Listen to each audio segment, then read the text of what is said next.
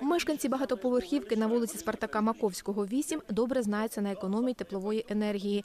У 2016-му тут створили ОСББ, а ще через два роки вирішили взяти перший теплий кредит. Завдяки цьому встановили у під'їзді металопластикові вікна та двері. А в 2019-му облаштували у підвалі індивідуальний тепловий пункт по причине того, что люди были не- недовольны качеством отопления. То есть у нас дом расположен так, что одна сторона южная, а вторая сторона, вот лицевая, она северная, она все время теневая. То есть это все квартиры, которые находятся в тени, и они всегда были э, недотоп.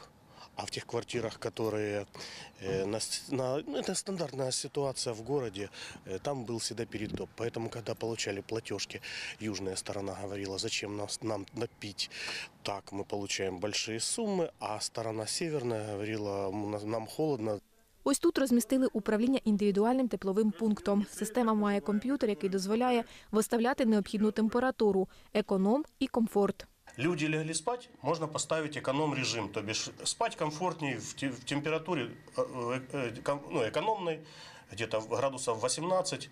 Когда люди встают, это где-то в районе 4-5, кто, кого какой график, э, снова сам выставляется температура комфорт, то есть она поднимается до 21-22 градусов. С 10 часов дня до 4, до 16 часов температура эконом. В 16 часов снова включается режим комфорт, и до 11 часов в ночи снова режим комфорт, люди ложатся спать, и снова, и вот, вот это вот чередование дает, тоже дает экономию тепловой энергии.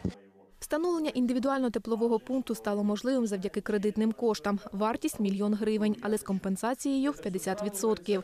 ОСББ сплатить лише 500 тисяч. Половину погасив фонд енергоефективності. Завдяки ІТП під час опалювального сезону мешканці багатоквартирного будинку відчувають суттєву економію в оплаті за опалення. Я просто сравниваю с соседними домами, я получаю платежки на, на три дома, и я все время каждый месяц сравниваю. То есть о, где-то процентов на 20, 25, 30. То есть это зависит от температуры. То есть если вот э, температура э, в межсезонье, вот ну, так называемая, не, так, не тогда, когда идет морозы, это где-то январь-февраль месяц, а вот ноябрь начинается отопительный сезон, декабрь, то есть тут около нуля пляшет, и днем может быть тепло, вечером.